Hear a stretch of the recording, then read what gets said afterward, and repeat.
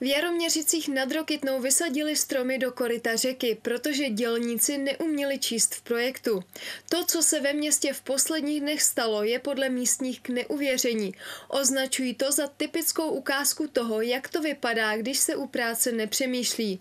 Nová výsadba stromů se objevila nejen v korytě řeky, ale také přímo v cestě mezi hroby na hřbitově. Kromě těchto míst dělníci vysadili stromy také pod dráty elektrického vedení a nebo do ochranného pásma, kudy vedou optické kabely. Zbrklé výsadbě předcházelo však ještě zbrklejší kácení. Pokáceli dokonce i památný modřín, který zasadil bývalý starosta Karel Nedvědický u příležitosti vstupu České republiky do Evropské unie. Paradoxem je, že se kácelo za peníze Evropské unie. Starosta Jaroměřic připouští, že pracovníci, které si město najalo, se až moc řídili kótami v projektu, než aby dali na svůj zdravý rozum. Všechny špatně vysázené stromy se nyní začaly vykopávat a ve městě se hromadně přesazuje.